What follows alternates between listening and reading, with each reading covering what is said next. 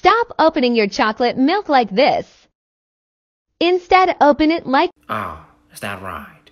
Well, there's one small problem. My father was a drinker, milk drinker. But me, no, no, see, I don't like milk. So, what I would do is I take out a knife and say, let's put a smile on that case.